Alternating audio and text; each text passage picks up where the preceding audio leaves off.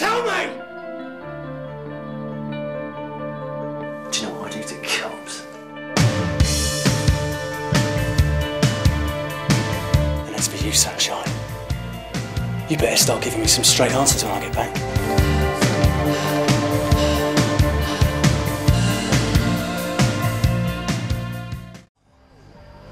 Alcohol.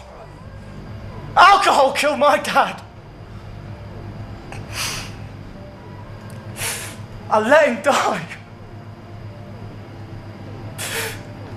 I couldn't stop him. I should have tried harder. It's not your fault. You did not do anything wrong. He's right. Listen, mate, it's not your fault. Look, these things happen. It's not your fault. It was my dad, and I let him die. All right. All right. I promised my mum I'd take care of him. I have been wounded on occasion, and sometimes just half an inch is the difference between life and death. Some of us feel we should have been killed a thousand times. We've just been lucky, I guess. But the effect that this has on you can sometimes be worse than the injuries themselves. War is like something you cannot imagine. There are things I have seen here that I will never forget as long as I live. I'm not even sure I know what it's all about anymore. One thing I am sure of, though, is that what I do here, I do for you. So the world you live in is a safe one.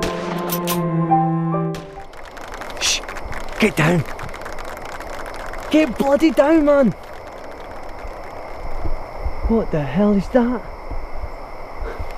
It looks like another group. Where's still the others?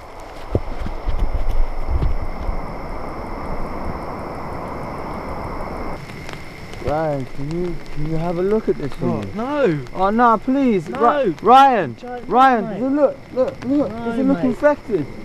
No, man. Everyone, everyone, gather round! What the fuck is going on here, man? Nothing, it's nothing. Where's Valerie and Maria? Never mind, there's no time. There's another camp through those trees. Oh my god, like a rival camp. Exactly, man. And your point is? Well, it's like Maria said, we've got to aggressively market ourselves. This is the fucking perfect opportunity. Back again? Yes, I know, Reverend. Haven't I had the most dreadful luck?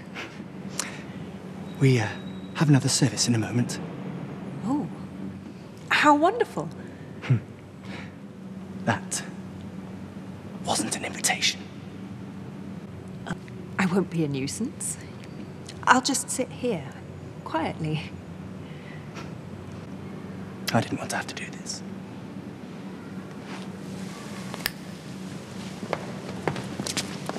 Oh, well, let go of me. This is most unchristian. Woo!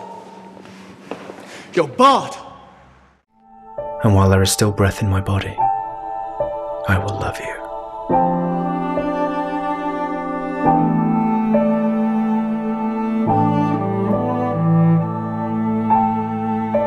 I will be with you always.